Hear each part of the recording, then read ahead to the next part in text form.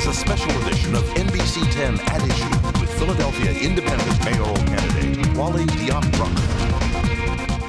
And the special edition of NBC 10 at issue continues. I'm Steve Highsmith, and with me, candidate for mayor Wali Diop Rahman. Let's get right to a question from a viewer, uh, Ruby from South Philadelphia. Asks, how is your position different than Mayor Nutter on creating meaningful employment and alleviating poverty in the black community? Well, my position is different because I actually have a position uh, you know, it's interesting because, uh, you know, the federal government came out with a recent statistic, uh, Labor Department in particular, saying, saying that uh, the rate of unemployment for uh, black teenagers rose from last year at 36% to this year at a little bit over, over 48%. That's a drastic increase.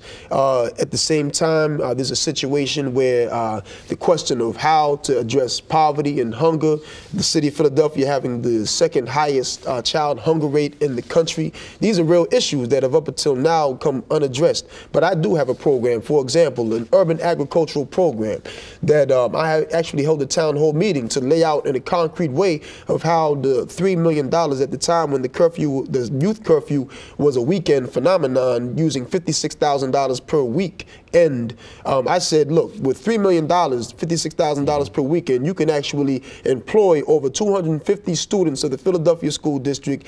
You can uh, transform over 40 empty lots in the city of Philadelphia into community gardens, providing a way to feed the entire community that surrounds those gardens. That's just one example, and the many others in, within the existing budget parameters that we have right now.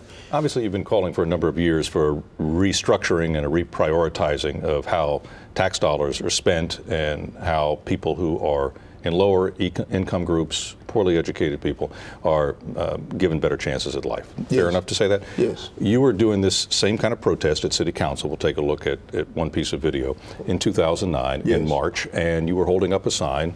A civil affairs officer comes up to you. And why don't you explain what you were thinking at this point? Uh, you saw him come up to you, start to move the sign, and he eventually will put his hand on your throat. Well, you know, my initial thought, this is. a defining moment in the question of free speech in the city of Philadelphia and in this country. Um, as you can see, um, I now was you, you did push back a little bit there. You tried, you had your hand or arm that you waved down. You did take a couple steps forward. You did push back. Mm -hmm.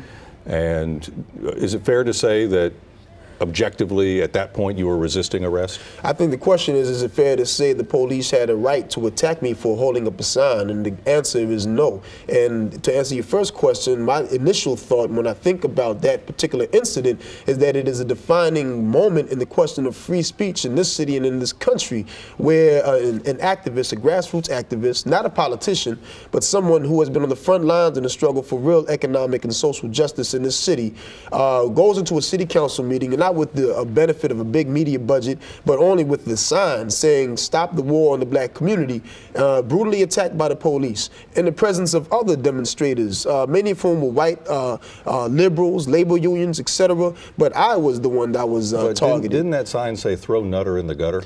Uh, yes, it did. Yeah, that's kind of violent imagery. It said "Throw Nutter in the gutter, stop the war in the African community," and I, it also said uh, billion dollars for jobs and businesses for the African community, not police containment.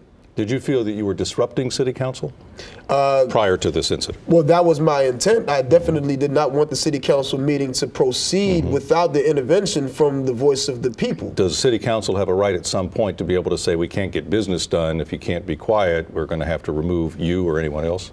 Of course, but the question was not of me uh, making it impossible for the city council meeting to go forward. So, in other words, this played out. You were convicted and given two years probation, correct? Correct. Is that probation up? No, it's still going okay, on. still going on. And you were given a fine. How's the fine paying going? The fine paying is going fine, even though the fine is, in, of course not. Even though the fine uh, is a form of uh, theft, uh, uh what's the word, blackmail or mm -hmm. extortion.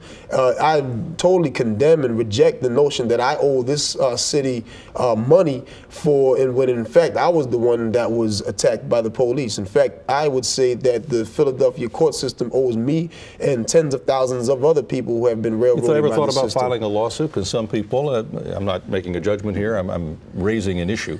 Well, look at that tape and that's that's all we're showing right now at this point. You know, someone may allege something happened before or after. But if, if we're showing that, it doesn't look like aggravated assault. It looks like there's a confrontation that obviously took place. I mean, I would have to say I was definitely assaulted in an You- aggravated manner by the police. I'm talking about you were convicted of aggravated assault, correct? Right. Yeah, but did, do you feel that you were exercising that kind of violence, whether it was justified or in retaliation against a police officer? Of course not. All right. And you plead, you, you fought it and lost. Correct. And do you plan to pursue this any further, either a civil suit or anything I, else, I think or is the this I think the results. is this is this proof of what you think is wrong with the system? Is that how you're looking at it? Oh yes. All right. More to come, including the Uhuru movement, as Wali Diop Rahman sees it ahead on NBC 10 edition. Stay tuned. You're watching the special edition of NBC 10 at issue